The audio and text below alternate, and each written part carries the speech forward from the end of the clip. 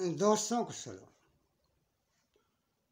World bank के सदर David मालपस ने कहा कि 20 तेईस का बरस सात गुजारी का साल साबित होगा।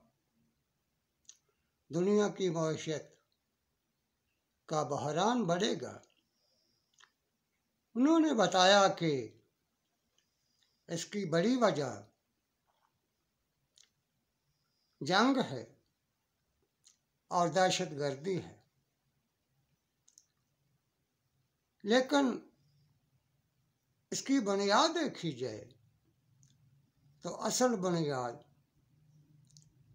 कारपोरेशनों की हकूमत है, अजारादारी है, कारपोरेट सिस्टम है। पाकिस्तान में कारपोरेट हुकूमत कायम हुई।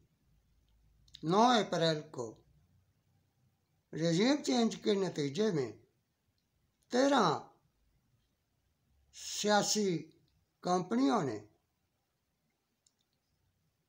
पाकिस्तान में अपनी हुकूमत कायम की। इस तरह से पाकिस्तान पर कारपोरेट हुकूमत का क़्याम हुआ। इस, जिसके बाद पाकिस्तान का मुआशी सियासी बहरान मज़ीद बढ़ गया। मुआशी पैदावार जवाल का शिकार हुई। और पाकिस्तान के कौमी ख़जाने में चार शारिया पाँच अरब डॉलर बाकी रह गए हैं। ये खबर है। और मज़ीद वसाइल से कुछ आने की तो भी नहीं है। पाकिस्तान ने इस बरस में तीस अरब डॉलर की किस्त, कर्ज़ों की किस्त वापस करनी है। ये पैसे हमारे पास नहीं हैं। लिहाजा बाज़ लोगों का कहना है कि पाकिस्तान डिफ़ॉल्ट कर चुका है, जबकि दूसरी लोगों का हकूमत का मौक़ ये है कि नहीं, अभी किनारे पर खड़ा है, ख़तरा मौजूद है, मगर पाकिस्तान डिफ़ॉल्ट नहीं हुआ। अल्लाह ना करे, खुदा न खास्ता पाकिस्तान डिफ़ॉल्ट से बच जाए। बाईस में जून जुलाई की बारिशें मामूल से ज़्यादा हुई, सैलाब आ गया। बलोचिस्तान और सिंध ज़्यादा मुतासर हुए। और तीन करोड़ लोग बेघर हो गए, उनकी झोंपड़ियाँ पानी में बह गईं। और कुछ इलाके जो हैं, बड़े इलाके जो हैं, वो जेर आब आ गए।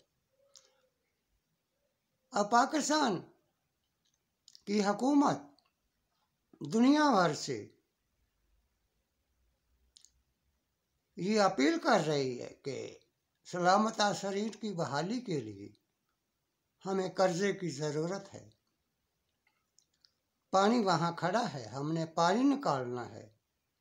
इसलिए पानी निकालने के लिए दुनिया हमारी मदद करे।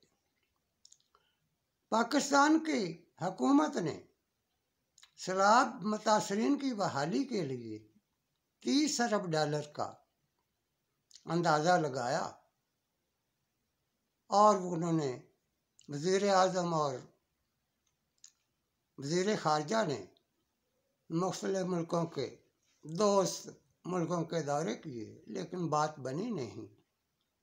उसके बाद क्लाइमेट चेंज कॉन्फ्रेंस जो शर्मल शेख में हुई, वहाँ हमारा एक बड़ा वफद गया। वहाँ हमारे वज़ीर अजम ने तीस अरब डॉलर मुतासरीन की बहाली के लिए मांगे। कर्ज की सूरत में, किसी सूरत में। लेकिन वो वहाँ से भी खाली हाथ ही लौटना पड़ा। बिल आखिर पाकिस्तान के लिए एक ही रास्ता बचा।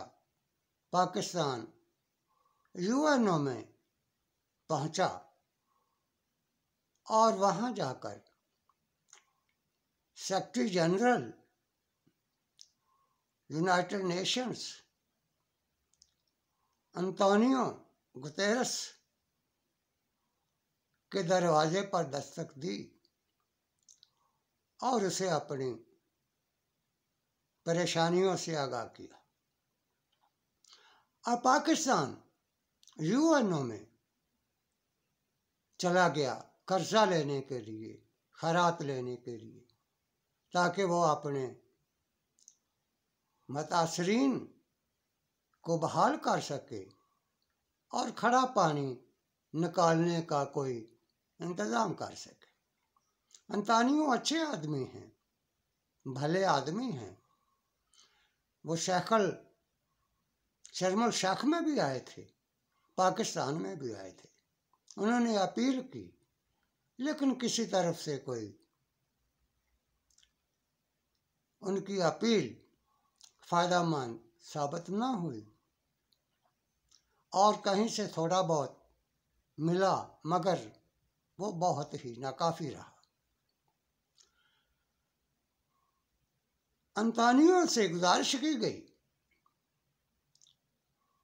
कि आप दुनिया से कर्जा और खैरात लेकर हमारी ज़रूरियात पूरी करें, ताकि हम अपने लोगों को झोंपड़ियाँ बनाकर दे सकें, जो वो सलाब में बह गई हैं।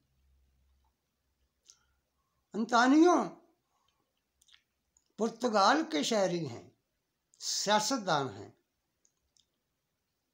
वो पुर्तगाल के वज़ीर आज़म रहे हैं। और बीस सत्रह में वो यूएनओ के सेक्रेटरी जनरल मंतखब हुए। उनके सामने भी हमने तीस अरब डॉलर का बिल रखा। उन्होंने बताया कि ये बिल तो डबल है। असल में सोलह अरब डॉलर अगर खर्च किए जाएँ तो मुतासरीन की बहाली हो सकती है। इस पर भी उन्होंने कहा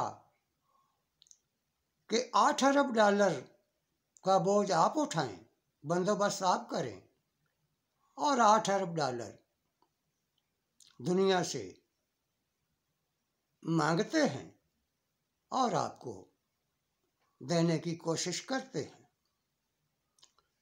पाकिस्तान ने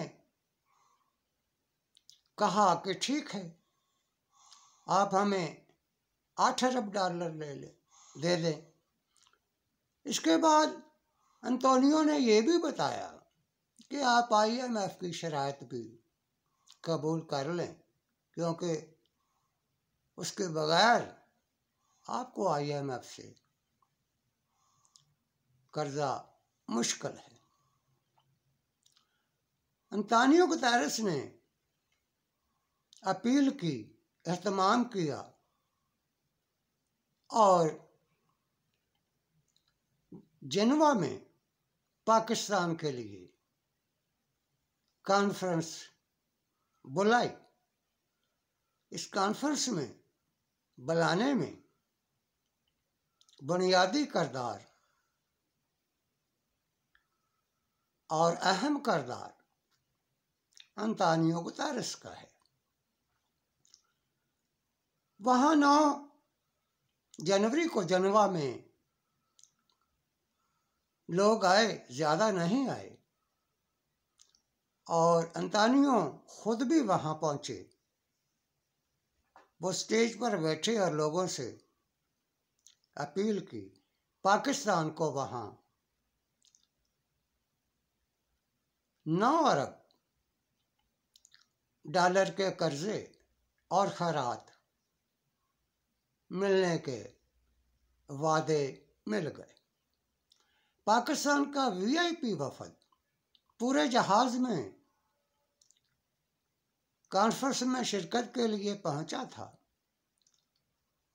महँगे होटलों में ठहरा, कीमती गाड़ियों में सफ़र किया और लशपश वीआईपी वफद को जिसने देखा, उसने यही समझा कि शायद ये पाकिस्तान को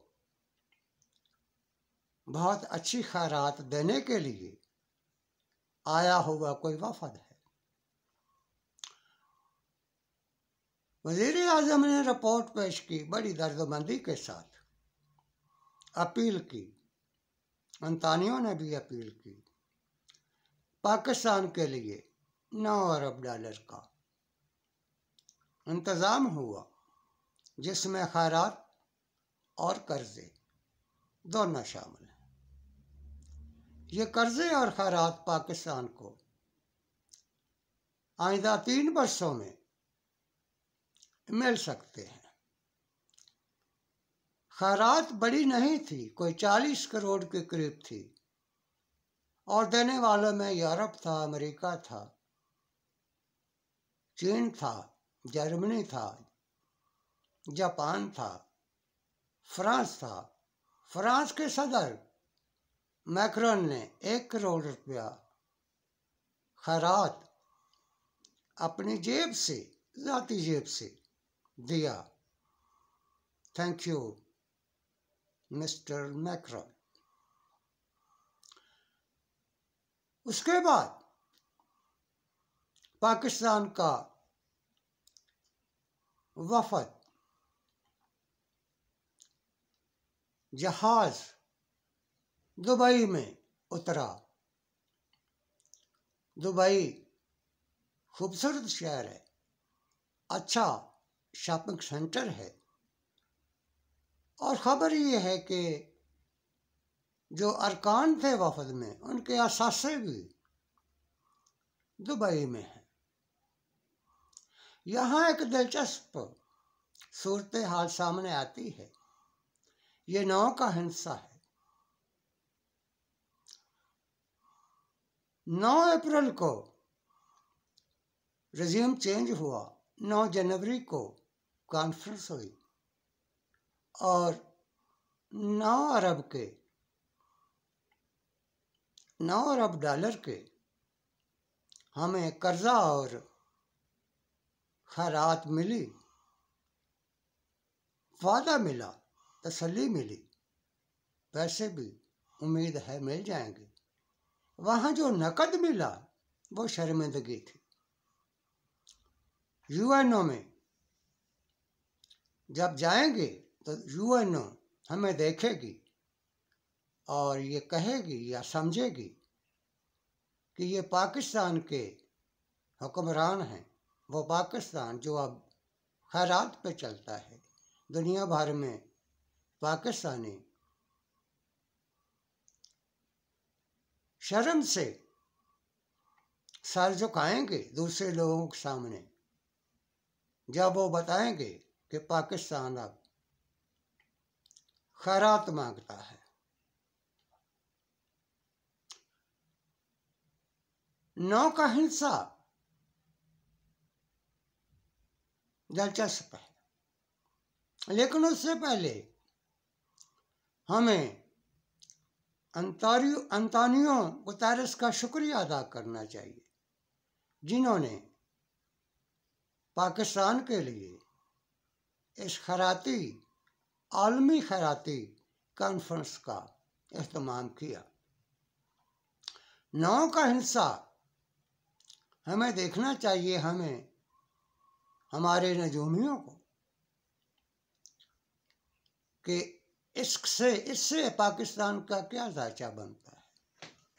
क्या आइंदा भी पाकिस्तान गैबी इमदाद से चलेगा? जैसा कि हमारे वज़ीर अजम ने कहा कि पाकिस्तान को गैबी अमदाद मिल गई है। शुक्रिया।